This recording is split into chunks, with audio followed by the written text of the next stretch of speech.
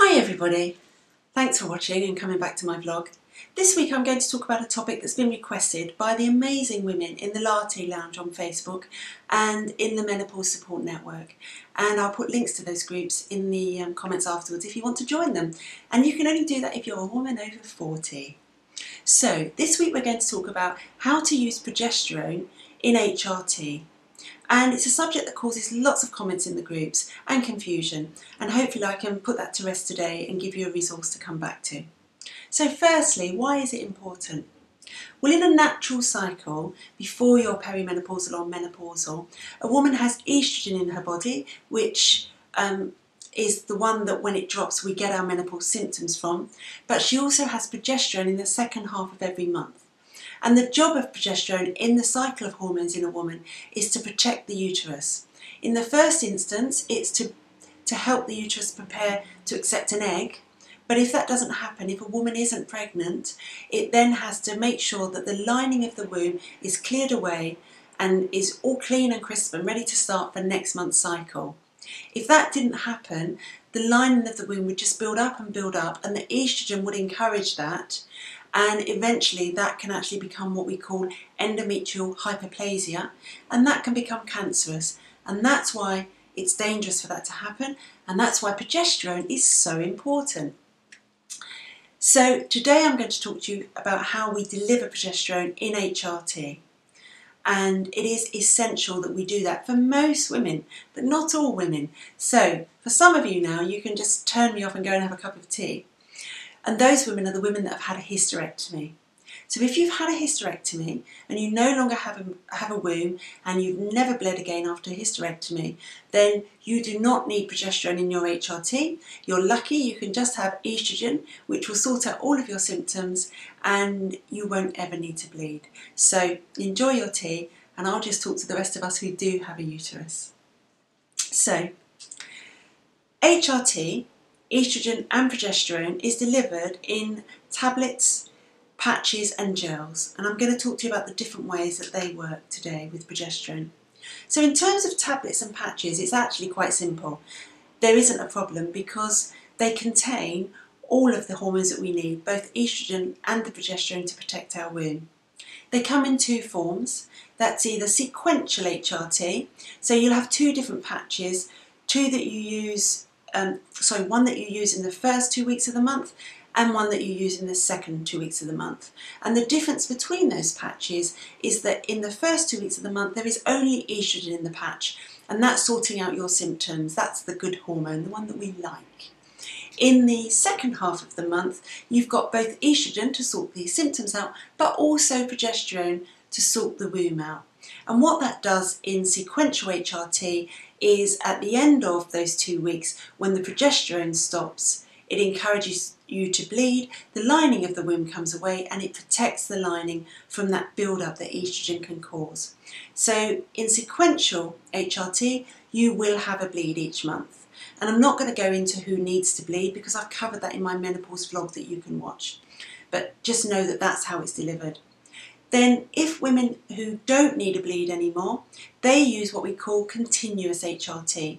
So they only have one patch that they use throughout the month and that patch has both estrogen and progesterone all the way through the month. And the role of progesterone in that scenario is to keep the womb lining low, not building up for the entire month. And that's why you don't need a bleed and that's why it, you don't stop taking progesterone. It's just continuous. So if you're taking tablets or patches in either sequential or continuous forms, your womb is being looked after and you don't need additional progesterone. The only time that might become a question is if you are adding extra estrogen via a gel or another patch. And the jury is out on that, whether or not you would need extra protection to um, the womb with progesterone. So I'm getting really tongue-tied, aren't I, with protection and progesterone. I apologise. So, at the moment, the general consensus is that no, you wouldn't need extra progesterone. But as I said, it is under discussion and it may change. As with science, things do. So watch this space and if it does, I'll just do another vlog. Okay, so some women prefer to take estrogen on its own either as a patch or a gel that you rub in every day.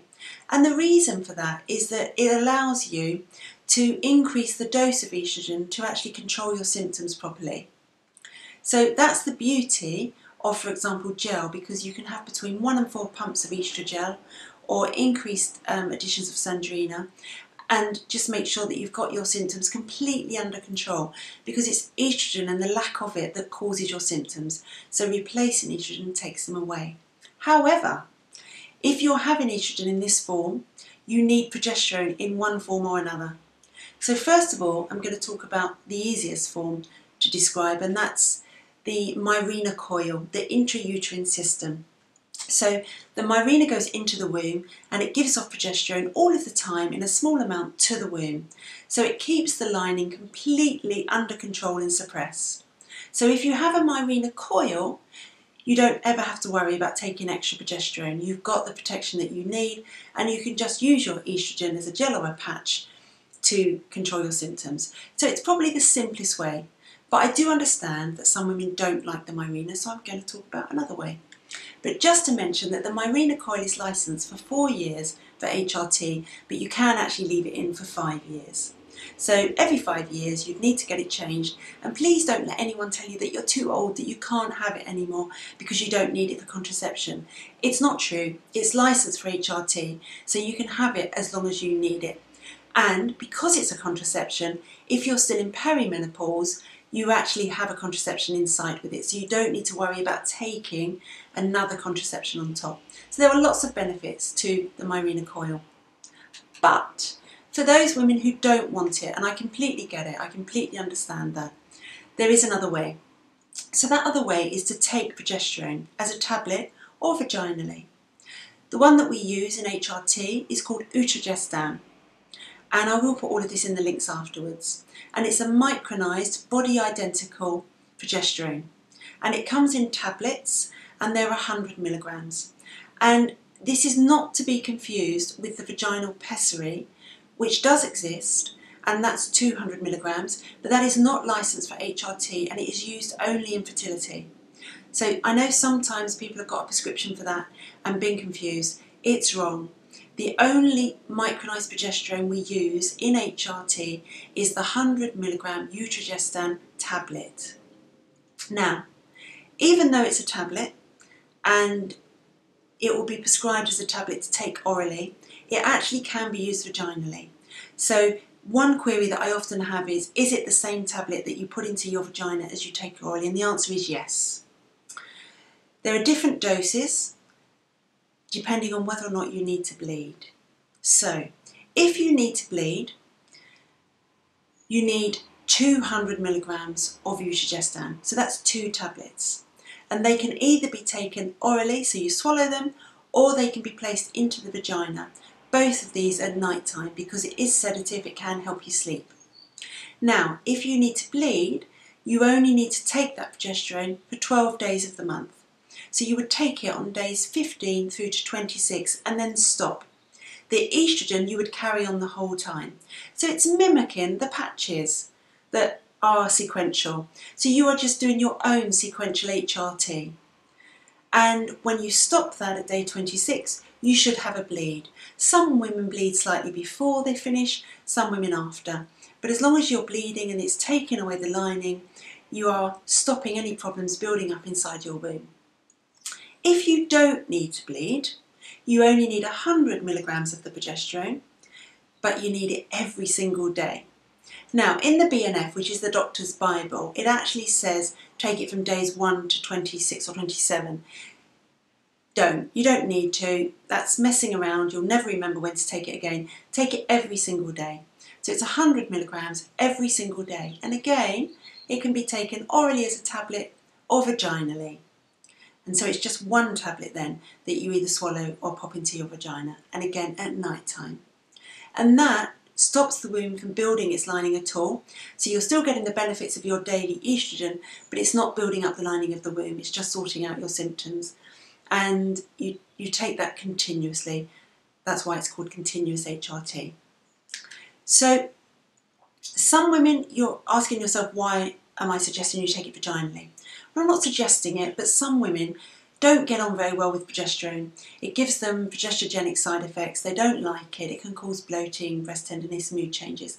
And so if you take it vaginally, that sometimes solves the problem and um, the progesterone is just absorbed locally so you don't get those systemic side effects. So that's why some women use it vaginally. So what issues do we have around this that we need to remember? Well, you can't take progesterone for less than 10 days in the month. So we say 12 because we know that's the best number of days. If you take it for less than 10, you won't necessarily shed the lining of your womb and that's dangerous. That means it could be building up and as I said it could lead to cancer. So seven days is not enough and there are some people out there who are prescribed it for seven days. It's not enough. It must be more than 10, preferably 12.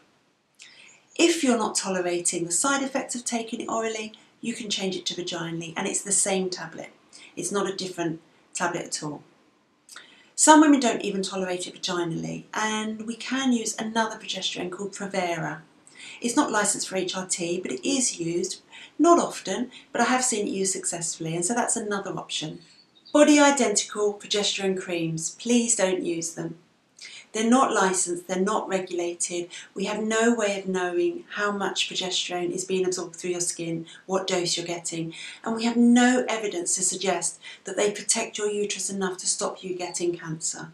So please don't use them. I'm not going to go into it any more than that, but I do have a vlog on this. It's the body identical versus bioidentical HRT, so you can pop over and watch that one if you want more clarity.